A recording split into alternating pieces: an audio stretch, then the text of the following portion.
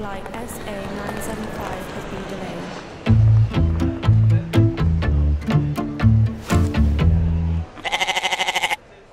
Hmm? Guddu यार Doing good is always a good choice, like choosing GoodDot, the plant based meat, healthy, tasty, and good for everyone, even Gudu.